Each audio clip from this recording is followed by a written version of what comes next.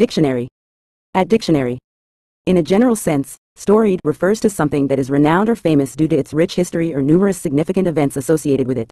This term is often used to describe buildings, places, institutions, or individuals that have accumulated a wealth of stories, legends, or notable achievements over time.